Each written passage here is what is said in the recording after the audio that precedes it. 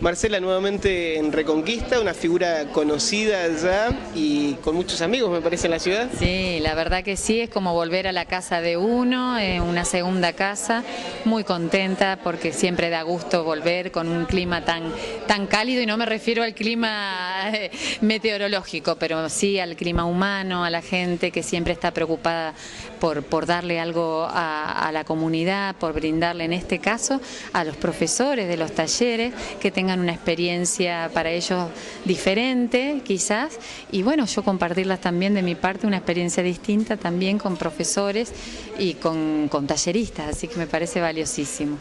Muchas veces se habla de multiplicadores, hoy estamos en presencia de muchos de ellos. Pudimos verlos en acción, por ejemplo, cuando vino el bibliomóvil, contándoles cuentos, leyéndoselos, y vemos cómo los niños quedan atrapados con esta manera, así que creemos que te van a aprovechar mucho. ¿Crece la narración oral en Santa Fe? Sí, y además no solo que crece, sino que es punta dentro de la Argentina, incluso te diría mm, más allá que Buenos Aires, con lo grande que es Buenos Aires,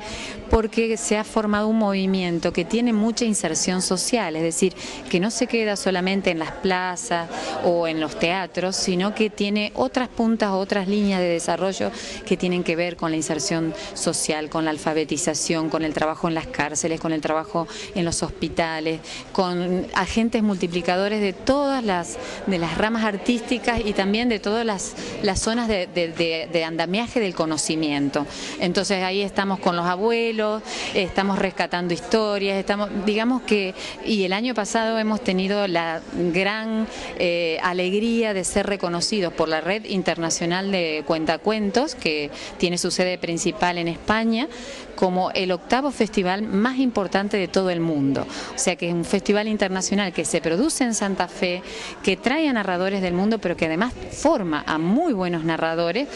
realmente estamos muy orgullosos y tiene que ver porque estamos todos trabajando en esa dirección. Digamos, todos, no solo Santa Fe Capital, sino con toda, toda la riqueza que tenemos en toda la provincia.